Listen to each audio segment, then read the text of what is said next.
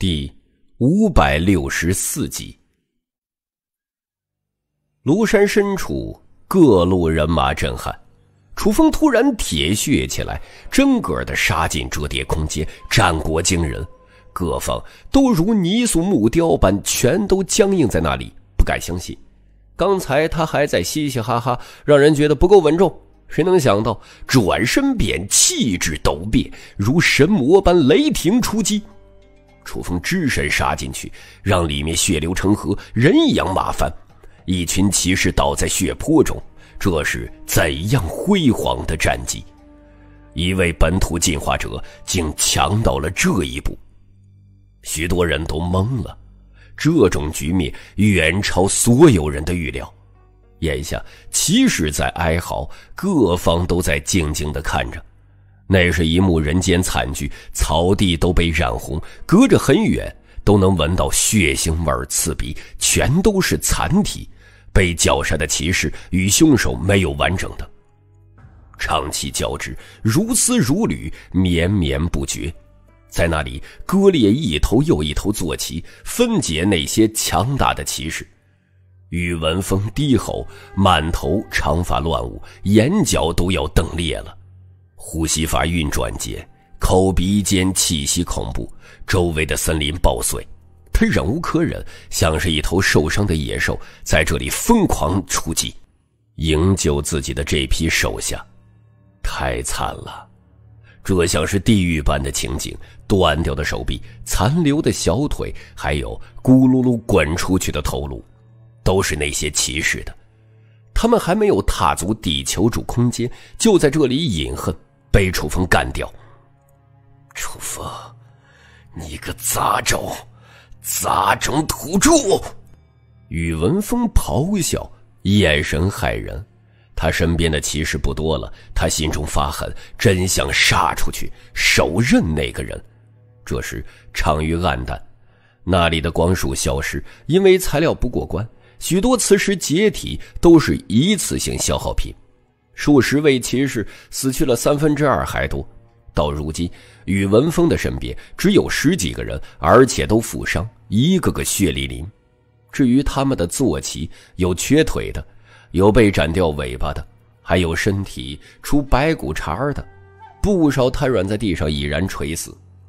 这一役太惨烈了，宇文峰一系人马遭遇重创，一蹶不振。宇文峰，这位圣子。被人打掉头上的光环，失去应有的威严，被一名土著杀得灰头土脸，手下覆灭大半，这是一场震惊四方的大败。毫无疑问，这件事儿会以这里为中心传到各条星路上去，他颜面受损，或许会被各方耻笑。一旦被人轻视，他这个圣子地位将急骤下降，甚至在他所在的星路后方。在这一系的大本营中，以后都可能会有人蠢蠢欲动，想取而代之。这一战对他来说太糟糕，影响极坏。宇文峰咬牙：“逆种！”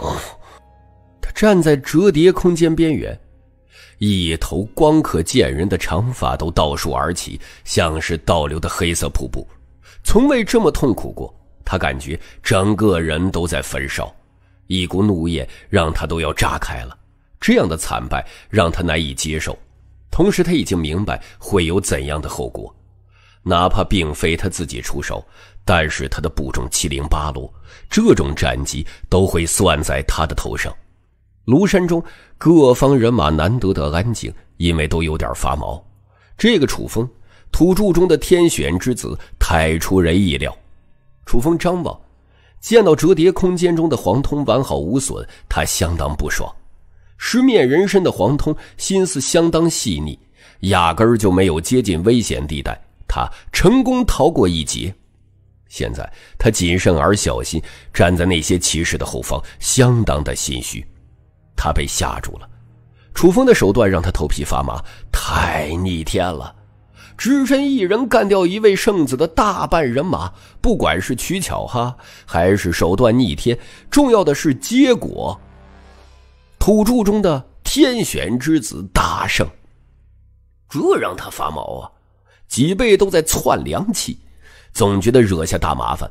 如果有选择，他还真不想坑楚风，认为极度危险。楚风牙疼，盯着黄通看了半天，这王八蛋不死，让他神色不善。狮子狗，你等着，回头非找条狗链子拴上你不可！楚风喊道。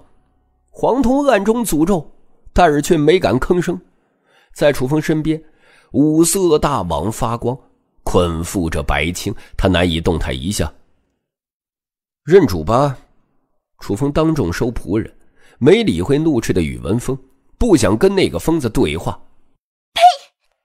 百情羞愤，却也不屑。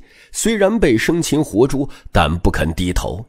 哼，认赌服输。不想履行诺言吗？楚风淡笑，低头看着他，露出些许的杀意。这女人早已跨界成功，之前曾在山峰上起舞，而后负责接引楚风来到埋伏圈中。他原本是一个逍遥境的进化者，但未进地球主空间自废道行，如今在枷锁十二段境地，而且他不属于战斗型人员，所以不主攻。哪怕能过来，也不敢再青旅为敌。他现在被楚风捉住，情况相当的不妙。哼，想让我屈服，不可能！他冷笑连连，将头偏向了一边。放开他，我们来谈条件。在折叠空间中，宇文峰停止嘶吼，盯着楚风，这般喊声说道。楚风依旧没搭理他，而是动作娴熟的开始搜刮，从大网中向外取秘宝。这女人身上原本好东西可不算少，首先是一把伞，青金为骨，不知名的兽皮为伞面，很不凡。很可惜，这支防御力惊人的兵器在刚才的战斗中损坏。若非这把伞，白青肯定被常玉绞断身体，死在那里。你损坏了我的伞。楚风心疼的不得了，无奈放下这件秘宝。周围的人都误言那是你的伞吗？貌似现在是了。白青俏脸难看，这真是耻辱啊！至于折叠空间内，宇文峰更是怒火填膺，而那十几名熬下来最为强大的骑士，更是眼睛猩红，恨不得吃楚风的肉。楚风哀嚎：“处长黄金灯也坏了。”通体皲裂，我的秘宝啊！妖族圣女季轩神色古怪，这家伙，他真不知道该怎么评价了。这个土著，在他提及让他追随时，他可是连他都想收的。你白手拿开！白青愤怒，楚风在他身上乱搜，不可避免的触及一些部位，让他又恨又怒。现在他是阶下囚。本身就觉得很憋屈与耻辱，啊！我的秘宝，终于有一件完好无损的了。楚风大喜，手中拎着一条淡金色的麻绳，这东西不是第一次见到，而且每次他都被袭。这是捆灵绳，针对枷锁境的修士异常好用，一捆一个准，敌手很难逃走。若非楚风当初借用金刚镯的太阳火晶对抗，他第一次时就被韩文泽与黄威月捆住了。楚风相当满意，收了起来。难道这是制式的？各方势力都有，不过还真是不错，哈哈。接着，他又收起了一杆暗红色的长矛，宛若染着血，很摄人，同时也十分沉重。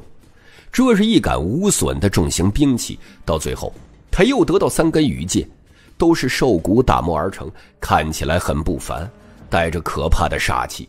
料想射出去的话会很惊人，没有很逆天的秘宝，但是楚风已经十分的满意。现阶段，过于超凡的兵器没办法带过来，很难跨界。至于他身上的袈裟，肯定有古怪，他内蕴场域断断续续，并没有彻底贯通。需要他这个场域研究者以自身手段激活才行，一般的生灵根本用不了，被认定是残次品。毫无疑问，现阶段跨界后用到的一些兵器，有部分都在白青身上，他像是个小宝库。唯一可惜的是，有些彻底毁掉。这时，楚风才抬头看向折叠空间中的宇文峰。说起来，你也前后送了我一些秘宝，真是感谢啊，散财童子。而后他又笑道：“从此以后，请叫我多宝道人。”嗯，不行。这名字不吉利，请叫我多宝圣师。宇文峰鼻子差点气歪了，他成散财童子了，估计这名号会被有心人传播出去，他会成为笑柄。散财童子，这名字真贴切。妖族圣女季轩第一个点头，带着笑意，都不带掩饰的认可这种说法。神子机灵嘿了一声，表示有趣，这让宇文峰怒火中烧，盯着那两人。他知道今日过后，他肯定要被人取笑很长一段时间了。本集已经播讲完毕，感谢您的收听，请您多多点赞、评论，喜欢请订阅此专辑，转发到朋友圈，谢谢。